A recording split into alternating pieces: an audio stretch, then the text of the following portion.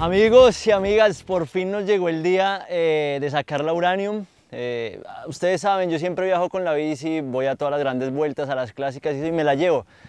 Se nos había hecho tarde, no lo habíamos podido armar, falta de tiempo, de logística, un montón de cosas que, pasan en, en, el inicio de los nuevos proyectos como este. Hoy aquí a mis espaldas ya tengo el Blockhouse, ya mucho cicloturista, mucho aficionado, mucho amateur subiéndola.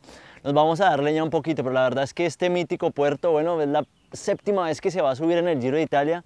El primero en ganar nada más ni nada menos fue Eddie Merckx.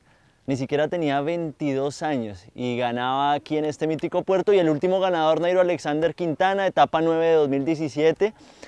Y hoy vamos a ver quién gana. La batalla está servida. Eh, es más, el terreno en realidad está servido para que haya muchísima batalla. Me imagino que va a ser muy difícil controlarlo, pero un fuerte Ineos eh, por ahora es el que, el que ha tenido esa, esa motivación de llevar a su Richard Carapaz, a su líder, a un buen camino y hoy debería confirmarlo, ¿no? Esperemos, yo por ahora voy a ir a sufrir un rato, pero estoy muy feliz de ya tener la bicicleta aquí y nos vemos allá arriba. Chau, chau.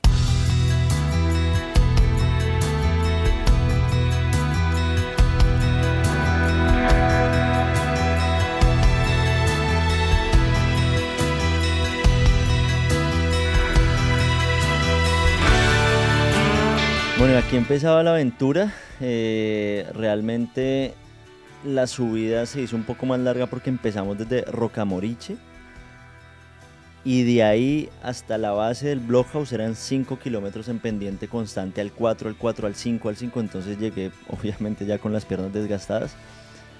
Y lo que van a ver durante todo el video es que yo me la paso parado en pedales y es porque no podía encontrar un ritmo.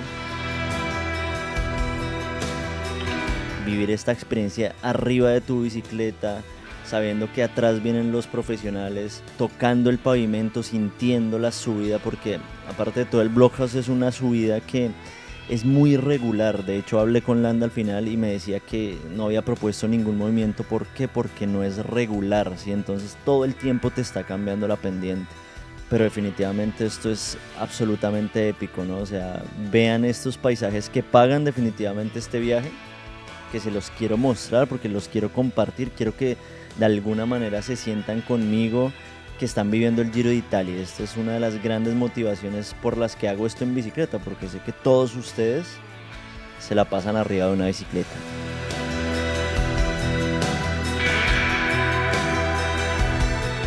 Y este momento fue clave porque aquí recordé profundamente, me había visto la etapa ayer, la de Nairo Quintana, la noche, y aquí fue justamente donde Nairo Quintana atacaba y soltaba a sus rivales por primera vez en ese Giro de Italia.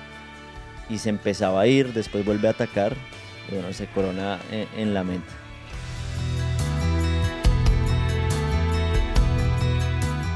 Estas curvas eh, en, en herradura muy, muy complicadas. El terreno hoy tenía una gravilla y un piso muy resbaloso.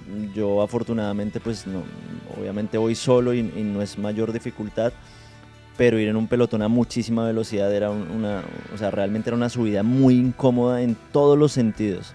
Esta parte hoy hacía una temperatura muy alta, 30-35 grados.